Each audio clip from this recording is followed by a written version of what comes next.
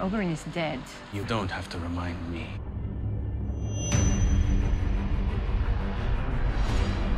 The House of Black and White. This is where you'll find the man you seek. It's a threat. I will burn their cities to the ground if they touch her. All they understand is blood.